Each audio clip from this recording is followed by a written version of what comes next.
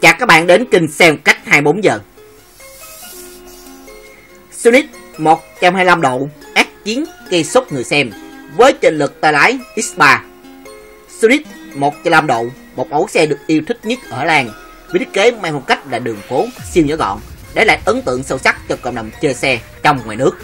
Và cho đến tận ngày hôm nay, dòng xe này vẫn còn được những tay chơi xe ưa chuộng, làm mới em nó bằng những bản độ từ nhà hàng đâm hố xem qua ống thể thấy con chiến mã khoác cho mình bộ áo với cái sắc màu đỏ nó bật. Có rất nhiều chi tiết ở dàn áo đã được loại bỏ để mang lại cái sự bụi bặm cũng như giảm đi trọng lượng cho nó, như là hai yếm trước, lường dưỡng quần.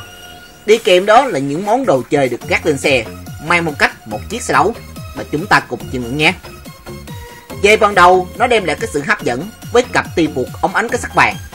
Hai phía tay lái được trang bị cụm nó thắng tay còn thương hiệu của CIC tích hợp là 6 nấc tăng chỉnh để tối ưu cái kích thước tay của mỗi người. Do xe đã được đổ máy rồi nên rất dễ chạm ngưỡng độ cao.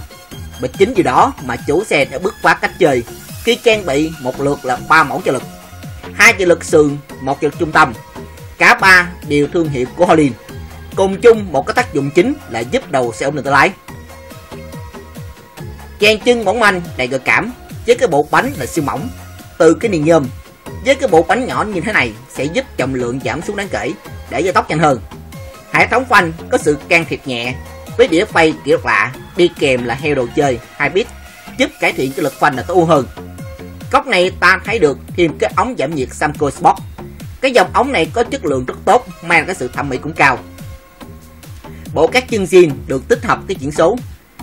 Chuyển số và đạp. Ngay à, khi chuyển hóa thành cái số kẻ đơn việc sang đổi này có cải thiện hơn, lớn hơn về các bước sang số, trở nên linh động hơn, cũng như là chỉnh sửa cái dáng ngồi cũng thể thao hơn. Phía sau là cái sợi sên Osaki màu xanh lá phản quang, rất là nổi bật, đem lại cái điểm nhấn cũng rất thú vị cho người xem. Và như mình nói từ đầu, xe này đã độ máy với cái nội công rất là khủng khiếp, nên nó bắt buộc dụng cái ống xả độ để phù hợp với cái lượng khí thải, lưu lượng khí cho xe mang thứ âm thanh là chân thật, tê tái, cũng như gia tăng công sức.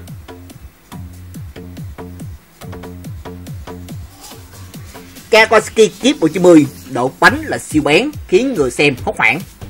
Dù là mẫu xe thì đã bị khai tử, nhưng có lẽ vẫn ghim sâu vào tiềm thức những biker người Thái bởi tốc độ được kinh hoàng. Và để hồi sinh em nó, mà nhiều người chơi xe đã mạnh tay chi nộp số tiền lớn, và các độ dần dần xuất hiện ngày càng nhiều hơn, đặc biệt là ở xứ chùa vàng dẫn chứng đó, chúng ta cùng chiêm ngưỡng cái chiếc Kawasaki 110 độ bên dưới. Mỗi bản độ đều có những phong cách riêng, họ thích giản đơn hoặc làm hổ. Như bản độ này, thuộc cái style là giản đơn. Xem qua ống thể thấy được em nó bao phủ bằng hai cái gam màu đen và hồng. Được phối với nhau một cách là hòa quyện. Đi kèm đó là những món đồ chơi kiển giản đơn. Được gác lên xe một cách hợp lý. Mang lại cái hiệu năng thực thụ cũng như đẳng cấp hiện đại cho xe cái cụm tay phanh Rainbow Crossy đi kèm bên dầu rời, chắc hẳn không còn lạ lẫm đối với những biker. Nó được thiết kế cho cái ghi đồng trần với cấu tạo piston lớn cho áp suất dầu mạnh hơn. Chắc hẳn sẽ để lại nhiều nguồn cảm xúc cho người dùng bởi cái độ bóp đệm ái chịu nhẹ. Chèn chân là điều thú vị nhất mà cái mẫu xe này đang sủ xem qua thấy được cái mâm đúc đã được thay thế bằng cái bánh cầm với cái kích thước là siêu mỏng hoặc cái nền nhôm. Việc chơi này không quá ngạc nhiên ở trạng thái nó giúp cho xe gia tốc lại nhanh hơn, cho trọng lượng xe được giảm xuống đáng kể. Hệ thống phanh được nâng cấp mạnh mẽ với đĩa đồ chơi, kết hợp cùng heo Rainbow Bit thông qua sự hỗ trợ phát nhôm CC gia công từ máy cho được chính xác được cao. Không chỉ hướng tới phong cách này, mà nó còn mang lại cái hiệu năng thụ. Ổn định và phanh để xử lý những tình huống khẩn cấp. Hệ thống phanh sau cũng được chi mạnh tay với đĩa kiểu Rainbow kết hợp cùng heo Rainbow Moto 3 dòng heo này là cực kỳ giá trị nguyên nhân là piston của nó được cấu tạo là titanium hoặc là nhôm giúp chịu nhiệt độ rất tốt tối ưu hóa các tình huống phanh cấp do đó giá thành đắt đỏ nên các sản sức đã gia công những cái dòng heo có những mẫu cũng tương tự nhau mà ta khó phân biệt được để đáp, đáp ứng được cái nhu cầu chơi heo Crambo của mỗi người với mức giá thành là cực kỳ thấp.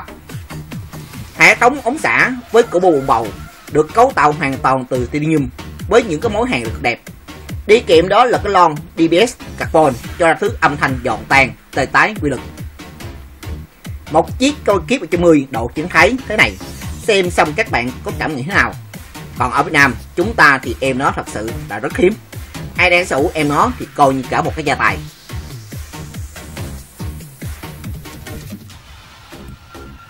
Cảm ơn bạn, giờ này là cái tiếp, nhớ like, subscribe.